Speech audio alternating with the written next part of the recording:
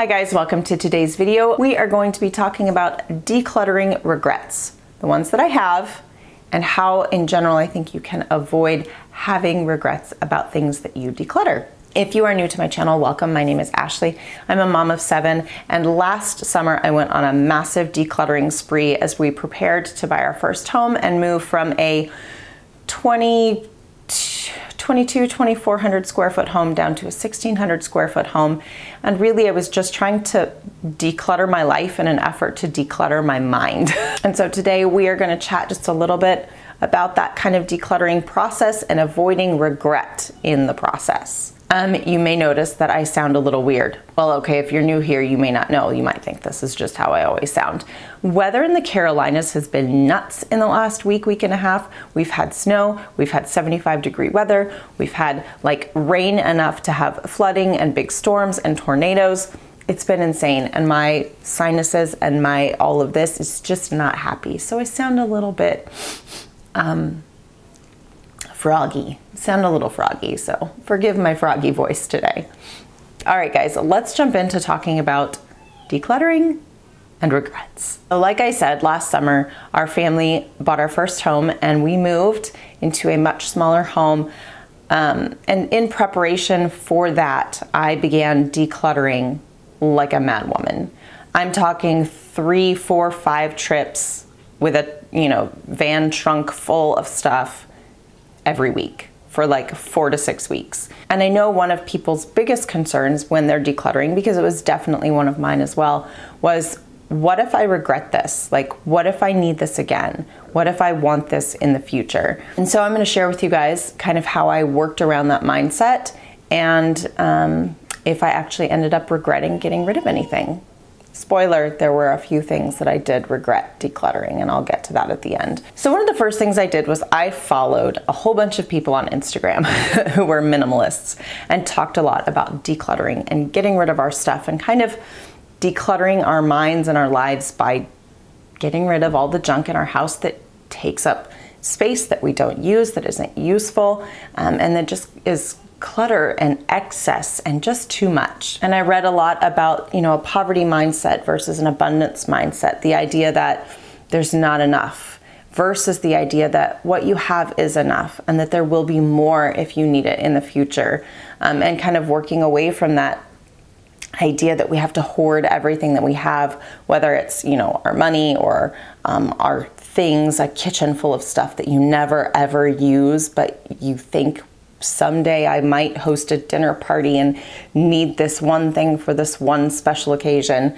Um, and really, that stuff that we're hoarding just takes up so much space, so much mental space. And we have to clean it and we have to take care of it. And, and I actually ended up finding it so freeing to just release all of this stuff that I didn't need in my life. We have seven kids, and in order to keep a sane mama and a clean home, it is so helpful to just have less to start with. So, so a few of the questions that I asked myself when I was getting rid of things was when was the last time I used this thing?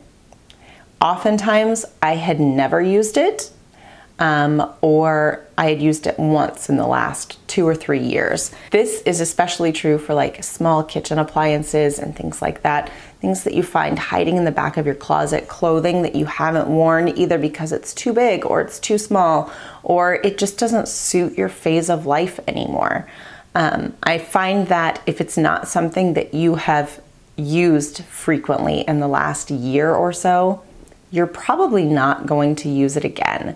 Um, and so that would be something that I would declutter without a second thought. The next question that I would ask is if I need this, if I find myself needing this thing again, is it something that I can borrow or easily replace? And by easily replace, I'm mostly considering the cost. Um, and everyone's kind of easily replaceable cost you know, your marker line is going to be different. For some people, it might be as low as $5. For other people, it might be $20 or $50 or $100. Um, you know, depending on your budget and lifestyle, is this item something that you can easily replace if you find that you do miss it in the future, whether by borrowing, which I think is a great way to replace things that you really only need very, very occasionally, is, is to borrow them if you need them. Um, so I kind of thought to myself, you know, if it's under $20, that's easily replaceable for me. And so I'm not even going to really give it a second thought if I haven't used it in the last year then I'm just gonna go ahead and get rid of it, especially if it's like under $20 and I can easily replace it. The third thing is, will someone else get more use out of this than I do? Um, this is something that has been especially true for me for baby gear and baby clothes. Um, I've had two babies since I've been on YouTube, and when sharing the things that I buy for my babies, people often ask, don't you have these things left over from your other children? Um, and I guess I've, I haven't always been a minimalist and I've frequently spent money on things that I don't really need. However, when it comes to baby stuff, I've always been the kind of person that's like, I'm not using it right now. Somebody else can use it and I can just replace it or borrow it in the future if it's something that I find that I need again. Um, so I don't hoard baby things. I don't store baby clothes. I don't store baby gear with a couple of exceptions. You know, I do have a couple of strollers now that I really like, so I'm just hanging on to them even though we don't use them very frequently. And I pass them on. I pass them on to friends or I donate them so that they can be useful. Stuff is meant to be used. And if I'm not using it, then it can be a blessing to somebody else and they can use it and it can actually serve its purpose on this planet. At the end of the day, for me, I really just desperately wanted less stuff in our lives. I see the value in kind of a more minimalistic lifestyle, less cleaning, less maintenance, less mess, especially when it comes to kids' toys and things like that.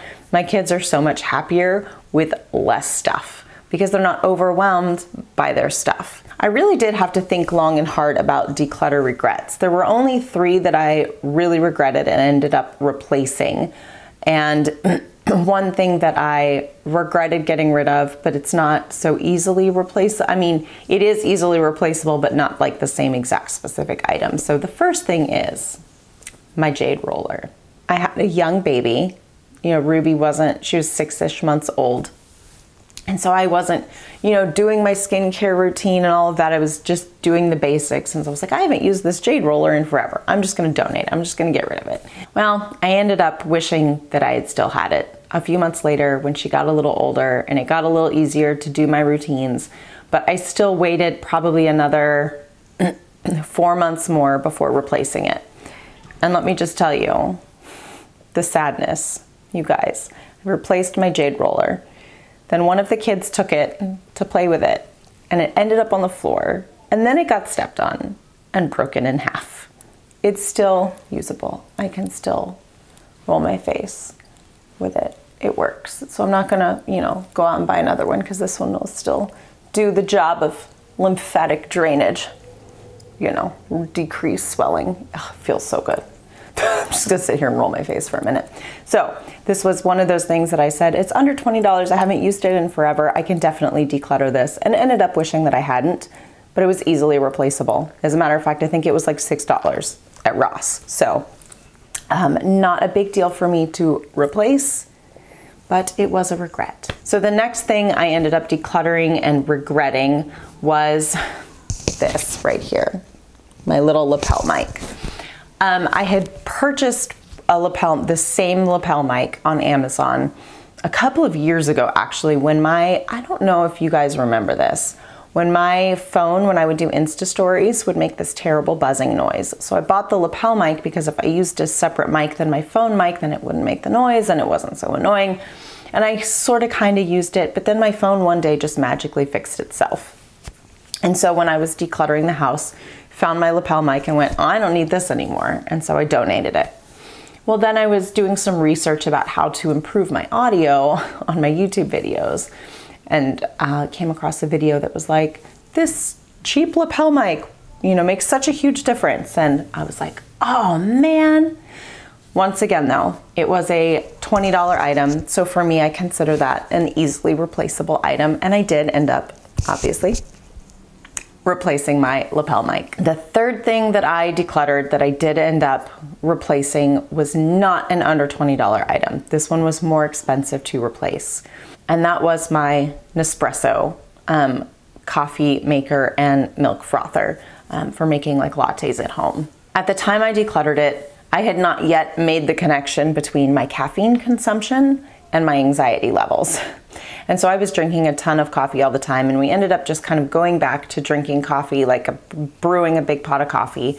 And then Nespresso pods are a little bit more expensive. And I was like, you know what, I'm just not using this enough. I'll sell it. I ended up selling it and making a little bit of cash on it, um, which was great as we were getting ready to move. But then once I made the um, connection between caffeine and my anxiety levels, I wished that I still had it because I love lattes. I love a good creamy, frothy, you know, cup of coffee in the afternoon, especially, a, uh, but now I drink decaf.